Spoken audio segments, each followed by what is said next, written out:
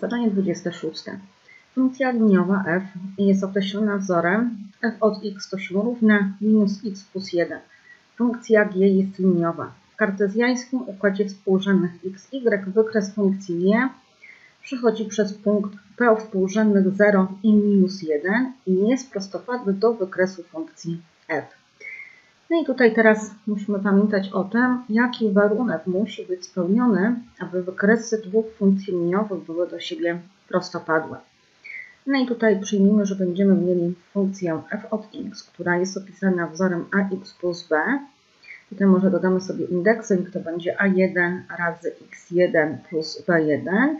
Natomiast funkcja g od x będzie opisana wzorem a1, właśnie już nie a1 sobie zrobimy, tylko sobie zrobimy a2 razy x2 dodać b2.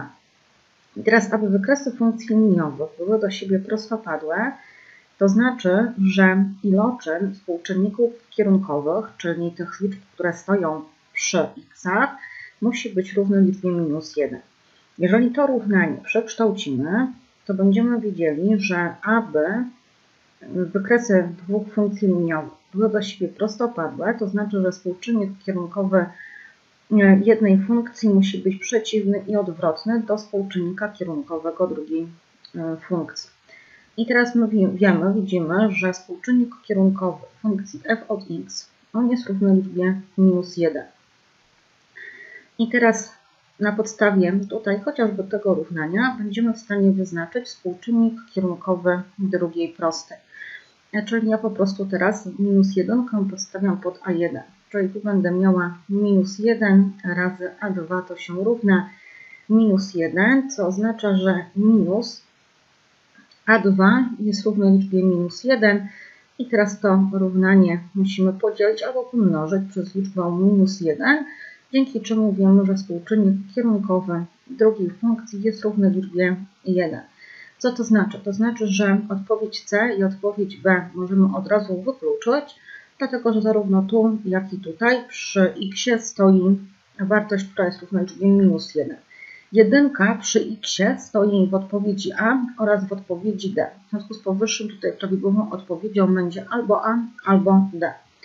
No i teraz popatrzmy jeszcze raz na ten wzór, który znajduje się w tym miejscu. Ja go przepiszę.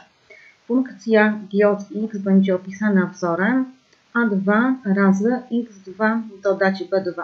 Te dwójki tutaj tak naprawdę niewiele nam znaczą. One znaczą tylko tyle, żeby rozróżnić po prostu wykres, czy no właśnie nie wykres, tylko wzór oczywiście, żeby rozróżnić wzór funkcji f od x od i od x.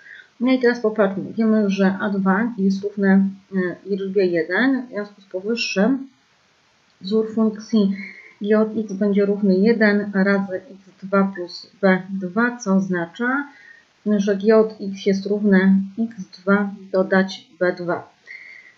I teraz my wiemy, że do wykresu tej funkcji należy punkt współrzędnych 0 i minus 1. Przy czym pamiętajmy, że wzór, właśnie nie wzór, ale wykres funkcji liniowej g od x, czy w zasadzie każdej innej również, może być opisany wzorem y równa się. W tym przypadku e, będzie to a2 razy x2 plus b2, przy czym wiemy, że a2 jest równe liczbie 1. W związku z powyższym wykres funkcji jx będzie opisany wzorem y równa się, właśnie już nie a, tylko oczywiście x2 plus b2. I teraz popatrzmy, że każdy punkt ma współrzędną x-ową oraz współrzędną y-ową. I teraz liczbę minus 1 podstawiamy tutaj pod y, natomiast 0 podstawiamy tutaj pod tego x. Uzyskujemy na tej podstawie minus 1, które jest równe 0 dodać b2, co oznacza, że minus 1 jest równe liczbie b2.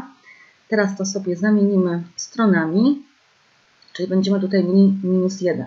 Co to znaczy? To znaczy, że tutaj teraz spokojnie możemy tę liczbę minus 1 podstawić tu do tego wzoru, dzięki czemu my uzyskujemy tutaj g od x, które jest równe x2 dodać, no właśnie, można tutaj zrobić, dodać e, minus 1. No i teraz oczywiście w kolejnym kroku już możemy ten indeks tutaj usunąć e, i możemy zapisać, że g od x jest równe x minus 1. Ja po prostu teraz też jednocześnie ściągnęłam ten nawias. Czyli widzimy, że tutaj prawidłową odpowiedzią jest odpowiedź D.